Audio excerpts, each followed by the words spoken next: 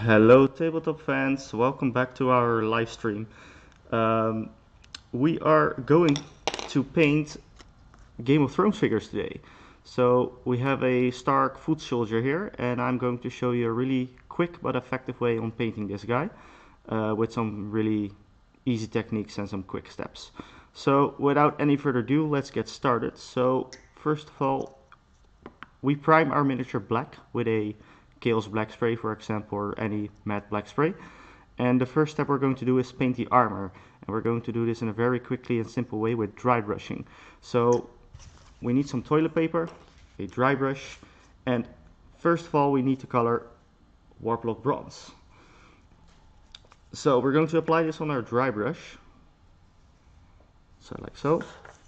Wipe a little bit of that off on our toilet paper. You don't need to be too careful with this one and we're just going to paint this all over our miniature. So make some circular motions and you can be really rough with this. You don't need to be very precise, just make sure every spot on your miniature has a little bit of that Warplock bronze on there.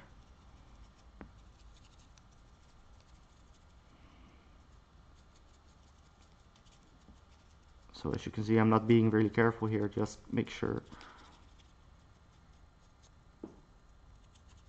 every little piece has a bit of Warplock bronze in it. Alright, so that's already step one, there we go. So step two is we're going to do the same thing, but this time with Leadbelcher. So with this one we want to remove a little bit more, and I'm not even cleaning my brush, just make sure there's not too much Warplock bronze on there. So as you can see there's barely anything coming off, because it doesn't really matter if these two mix a little bit. So again, I'm going to remove most of the excess paint now, a little bit more than with the Warplock Bronze. And we're going to apply it in the same um, in the same way again. So make some very small circular motions.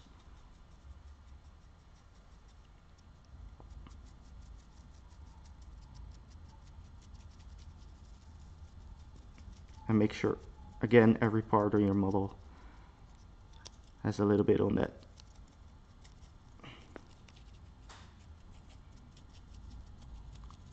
Don't forget the blade. And it doesn't matter if it comes in the face or anything.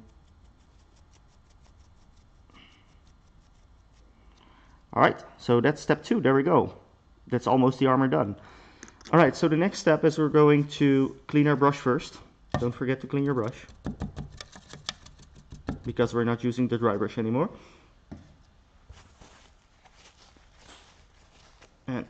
Just two seconds. I'm gonna grab a standard brush here. So there we go. And the next color we need is Rakarth Flesh because we're going to do the ropes or the tabards. So sorry, next color, Rakarth Flesh. Give it a quick shake. Put it on my palette. You want to add a little bit of water to this, just to slightly thin it down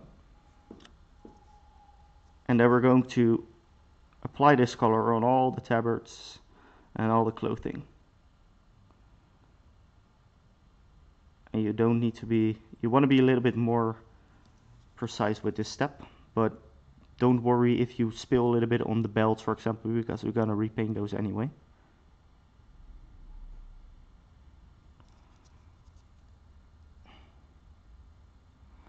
A little bit over here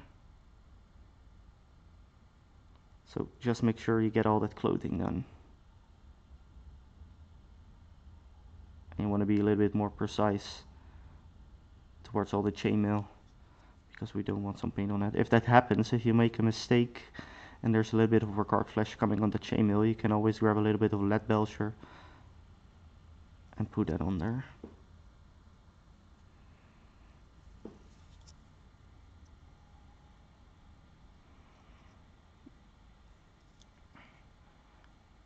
I am doing this with Rakarth Flesh because I really like the, the sort of white tone to it.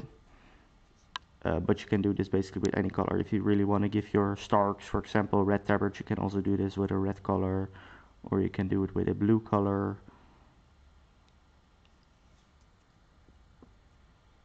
So you can really explore your own color schemes as well.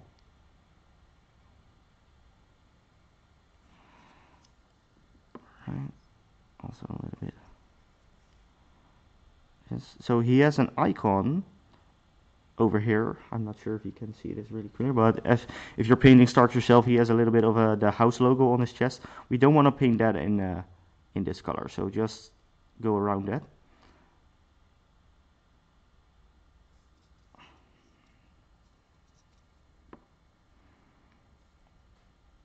Alright, a little bit left to do over here.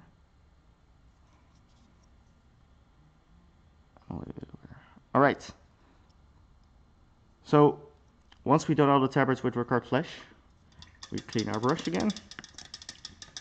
We're going to the next step, which is all the, the belts and all the leather pieces. So for this, I am using Dryad Bark, which is a very dark brownish color. Uh, you can also use Rhinox Hide if that's the one you have, or any dark brown color for that matter. And once again, apply to your palette. Add a little bit of water. Alright, so the pieces I'm going to paint with this are, for example, the boots.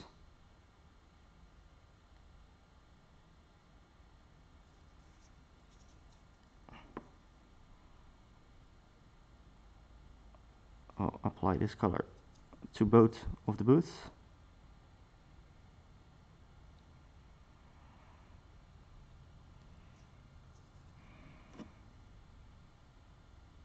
And we can also apply this to things like, for example, the belt. So he has a belt running over here. And that might be a little bit tricky because it's a very small piece. So what you could do to is grab your brush, grab some paint on it, and twist it like this. So you get a nice tip on your brush and that way it will make it a lot more easier to pick out details like this.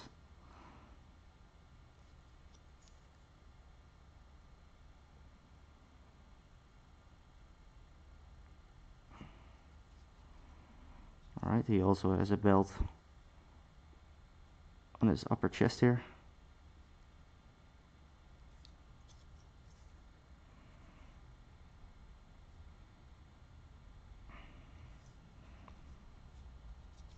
Alright, so that's the leather pieces. Alright, so the last step before we're going into the shade is we're going to uh, give the face a little bit of a color. So for the face, I am right away starting with Cadian Fleshtone.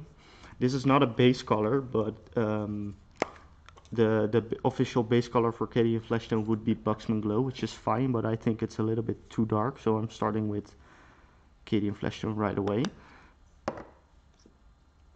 So you might need to put down two thin layers of this. To get a good coverage. So just put that on the face.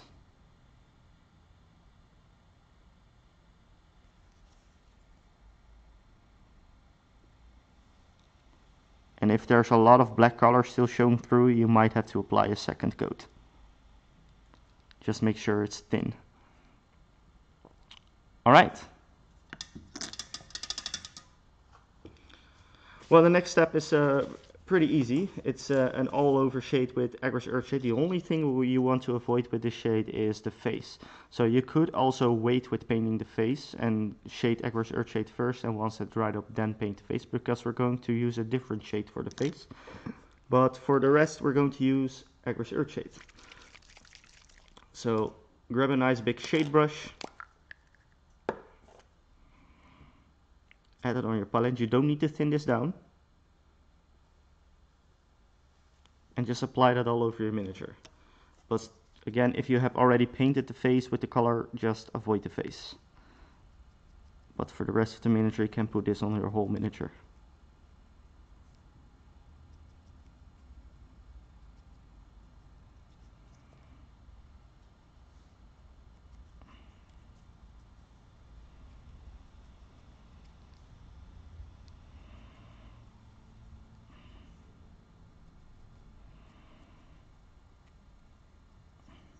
So as you can see here I'm just avoiding the face, just go around it a little bit.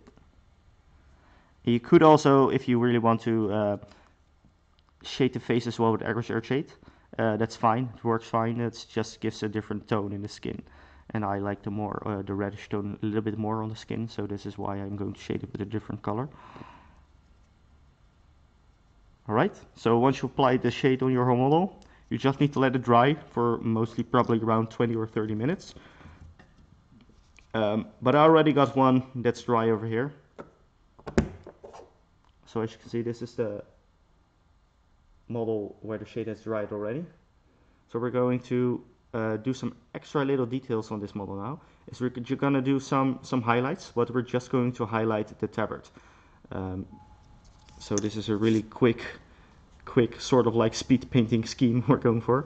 Um, so first of all, we're going back to the first color, Rakarth Flesh. So once again, put a little bit of that on your palette.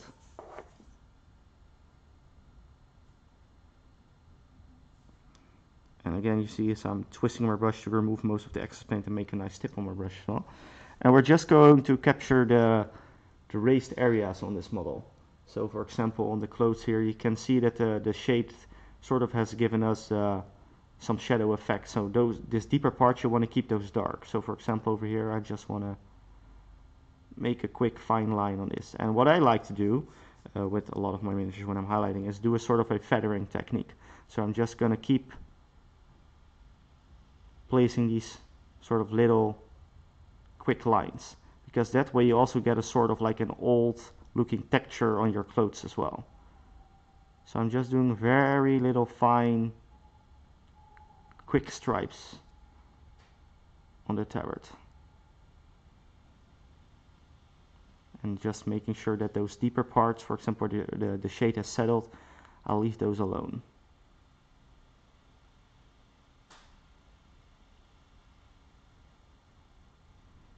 There we go.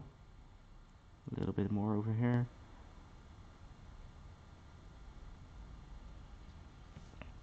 All right, and a little bit on the front here.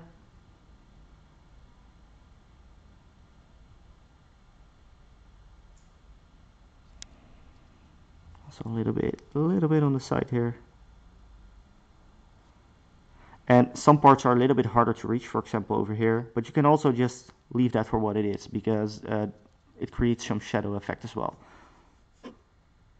Just a little bit more on top here. So as you can see, I, I'm just doing this very little feathering kind of thin lines. All right, so that's step one. Sorry, guys. Step two is to do the same thing, but this time with Pallid Wych Flesh. And what we're trying to do here is to, again, do this feathering technique, but try to focus more on the on the center of the lines that we all already created with the Rakarth Flesh. So for example, there's Rakarth Flesh over here, over the line, so I'm just going to focus more to the center of that. So again, doing very thin stripes. And I'm going to be even more careful with this one. But as you can see, I keep doing these small little feathering lines.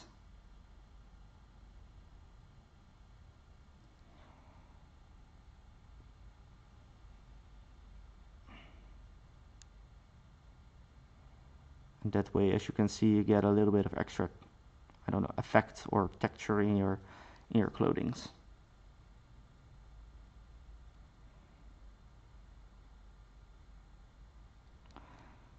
And also here in the arms you can see I'm just doing a little bit on the top of it. Also a little bit on the front here.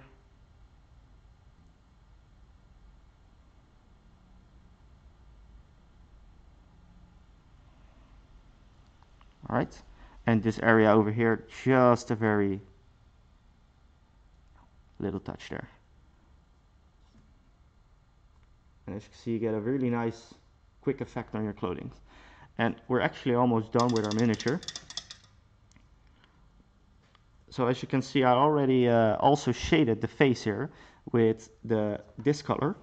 So I did not do that on cam camera but if you're wondering uh, the face is shaded in the same way as armor just with Reikland Fleshshade and that gives some more reddish tone to it so once again you can also shade it with Agrax shade that's totally fine it just gives a different tone um, but I've done it with Reikland Fleshshade so we can also give a little bit of a highlight to the skin and for that we're going to first use the original color again, so Cadian Fleshtone. Just we just need a really just small amount of Cadian Fleshtone because it's only a small face. So we're just going to touch a little bit of the nose and a little bit of the cheeks. And just a real tiny touch on the lip. And that's it basically. And I'm going to do a final highlight on it. But before I do that I'm first going to give the beard a little bit of color. So with uh, the beard I'm just doing a simple Abaddon black color. You could also try to do it with a black Templar color. Um, because we have been trying out these Contrast paints lately and they are also really nice for especially gun parts or small black details like beards. Alright, so for the beard I'm using Abaddon Black, so make sure you have a nice tip in your brush again. And just slightly touch that.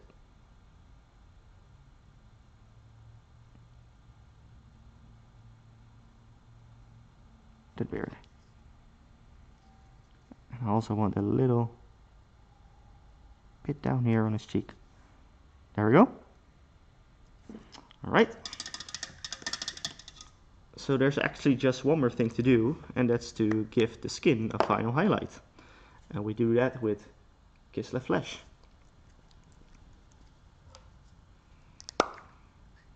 So once again, we need just a little bit, and a little bit of water as well. You want to, again, you want to use this lighter color on the skin just on the raised area. So for example, I'm just picking out the nose here. And a little bit on his cheek as well, just a little dot. Also on the other side.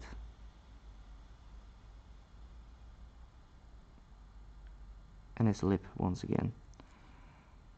And there we go. And this is basically all there is to it. Now there are some optional steps, of, course. You can also put a little highlight uh, on the letter if you want to, um, but it, this is already tabletop standard.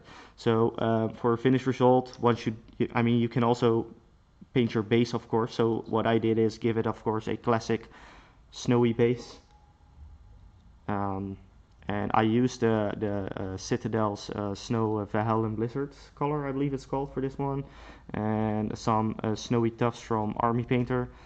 Um, but as you can see, I also did a little bit of a retouch on the on the on the leather straps, so just a lighter brown color. And for this example, I used a Mournfang brown, um, but that's totally optional and also to uh, give some more flavor to the shields. With some of these wooden shields I also made that Rakarth Flesh.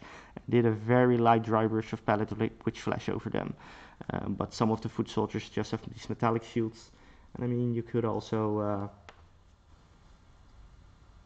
you could also uh, for example fill in these logos on here with a bronze color for example just to give it a little bit more flavor. But that's basically all to it. So as you can see I've got a few over here and it's done really quickly. And again, you can also replace that white color for uh, the tabards with a red or blue color if you want to go for a different scheme. But that's it, guys. So uh, I hope this was uh, useful for you guys. And yeah, check out our future videos. We're going uh, to do a lot more uh, tutorials in the in the future as well, as well with some better reports. So uh, keep an eye out for our schedule. Subscribe to our channel or like this video. thank you very much. And we see you next time.